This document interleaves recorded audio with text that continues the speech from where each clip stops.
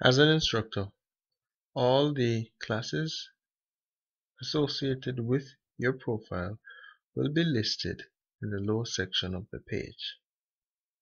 These are classes which you have access to as an instructor, which means you are able to add and modify content in this class, as well as manage the gradebook and other aspects of the classroom. To get to the class overview section for any class, we start by simply clicking on the name of the class. The class overview section will provide you with a list of activities within the class, the grading categories associated with the class, and various tabs with various which links to various features in the platform associated with this specific classroom.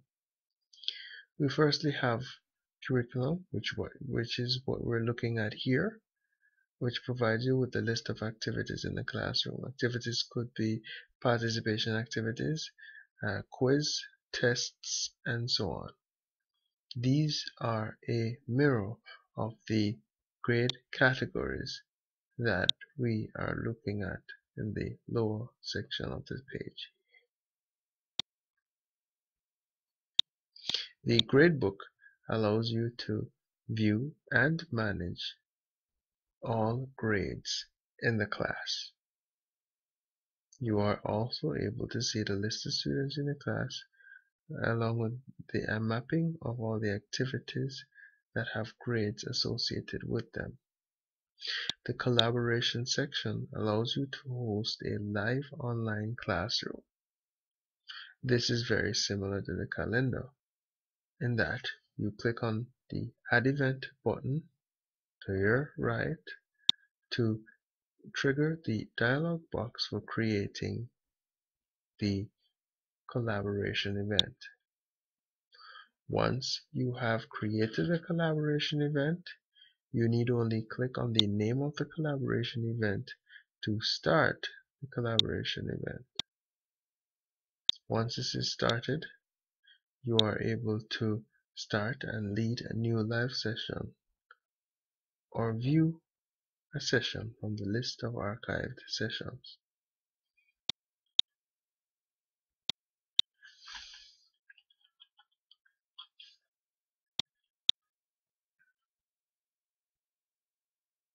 The live online session provides you with various tools for hosting your classes online.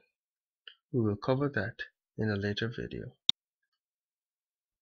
The attendance register allows you to maintain an attendance register for your class. The students are listed on the left and the calendar is listed, listed on the right. You have the ability to mark all students as present, changing only that which is necessary afterwards, and also the ability to save the changes made to the register. The students section shows you a list of, list of the students on the system as well as their email address and primary phone number. It also shows you their enrollment date. The Information tab provides you with information about the course. The Communication log provides you with logs, communication logs that have been entered for a specific student. You can start a new entry by clicking on the New Entry button and providing details as is required by the parameters provided in the form. Now, we are currently in the course overview section and all the options just mentioned are accessible to you in the course overview section. To preview any activity, you simply click on the preview icon to the right of the activity. This is currently an image of a magnifying glass. Once you click on this image, you'll be taken to the preview section, which allows you to navigate the course, the activity, sorry. To edit the course or to add additional content or material to the course, we need to be in the course edit mode. To get to the course edit mode, we click either the name of the course once we're inside the course overview section or the icon directly beside the name of the course in the course overview section.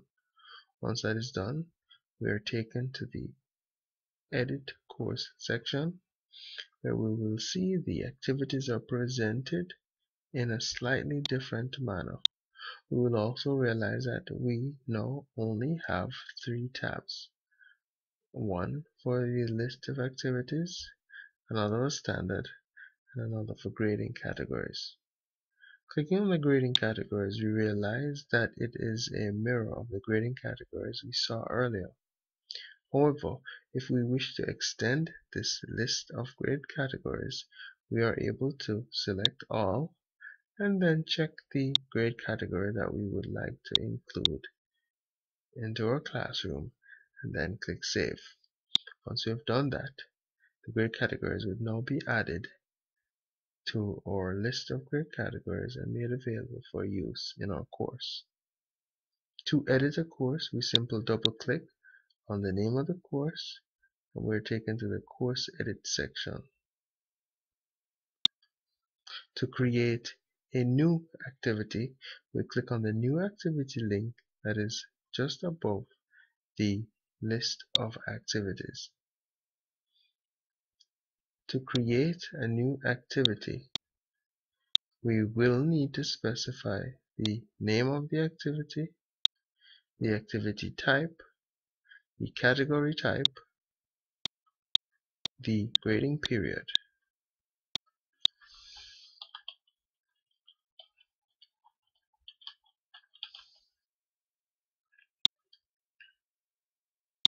To the right of the screen, we will see a prerequisites section. This prerequisite section allows us to control access to the activity. We are able to specify that students cannot access this activity until a specified date and specified time. We can also indicate that students must complete an activity before a specified date and a specified time. Once we have those prerequisites defined and in place, we are able to save our activity and as such creating a new activity. We will cover activities in a later video.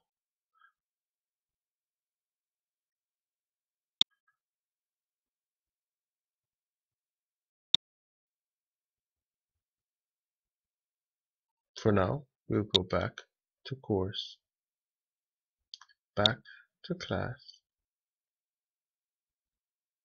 and those are the main features of the course section of the blended learning management platform.